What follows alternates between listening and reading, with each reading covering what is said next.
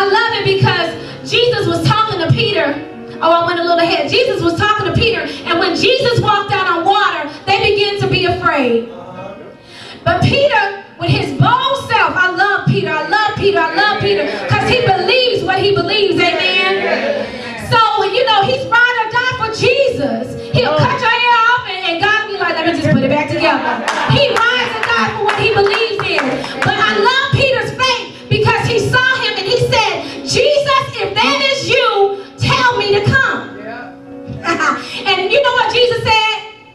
Come.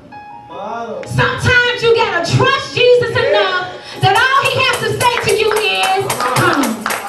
He didn't say a whole lot of word because there's so much power and authority to Jesus. He's just telling you to, come on.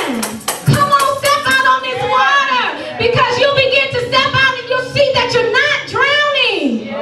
But if by happenstance that you, you start to lose what you are because when he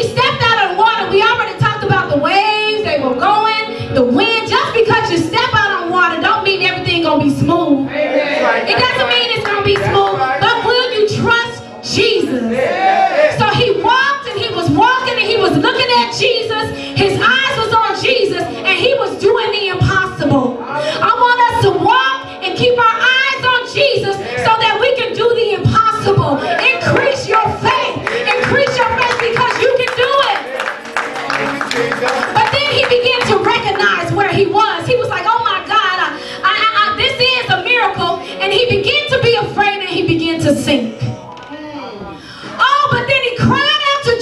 Jesus again. And Jesus was right there to catch him when he fell.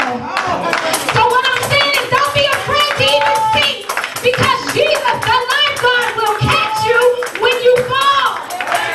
He is right there to catch you when you fall. It just so happens that you get in a little bit too deep and you start to drown. Oh, I know that God will begin to perform CPR. He'll look at you and say, You're my baby.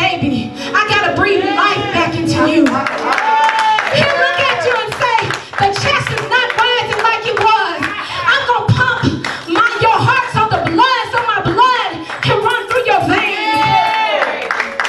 Uh, he said, I'm going to resuscitate you and bring you back to life so that you can once again begin to walk on water. So never doubt in your heart that Jesus has got every last one of you. You my father. What